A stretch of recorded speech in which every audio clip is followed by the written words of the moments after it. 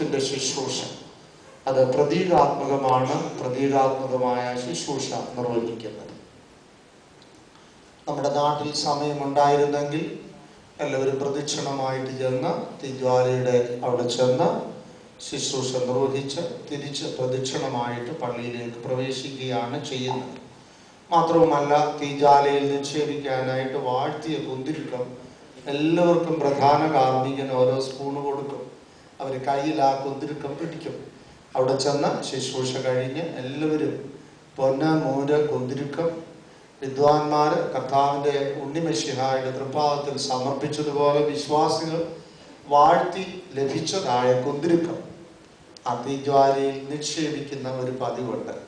ഇതൊന്നും നമുക്ക് ഇവിടെ ചെയ്യാൻ പറ്റത്തില്ല. നിങ്ങൾക്കറിയാം സമയത്തിന്റെ പരിമിതികളുണ്ട് അതുകൊണ്ട് ഞാൻ മനസ്സിലാക്കുന്നത് ഇവിടുത്തെ രീതി അനുസരിച്ച് എല്ലാവരും ശുശ്രൂഷ സമയത്ത് ഇവിടെ നിന്നാൽ മതിയാവും.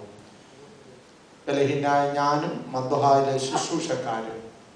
ആരെങ്കിലും കുറച്ച് പേര് എല്ലാവരും വരണ്ട വളരെ കുറച്ച് പേരാ പേരും.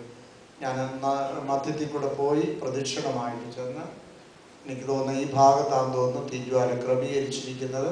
അവിടെ തീജ്വാലയുടെ ശുശ്രൂഷ മൈക്കിൽ കൂടെ നിങ്ങൾക്ക് കേൾക്കാം.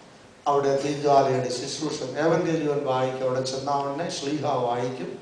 ശ്ലീഹ വായിച്ച ഉടനെ തന്നെ ഏവങ്കേലിയോൻ വായിക്കും. ഏവങ്കേലിയോൻ വായിച്ചു കഴിഞ്ഞാൽ ഉടനെ തീജ്വാലയ്ക്ക് തീ കൊടുക്കും.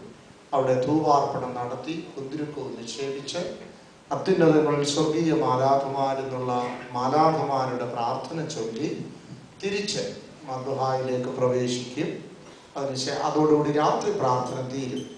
പിന്നെ മധുഹ ഇവിടെ പള്ളിയിൽ പ്രവേശിച്ച് പ്രഭാത നമസ്കാരം ആരംഭിക്കും. നിങ്ങൾ പ്രഭാത നമസ്കാരം ചൊല്ലിയ ഉടനെ തന്നെ സമയമില്ലാതെല്ലാം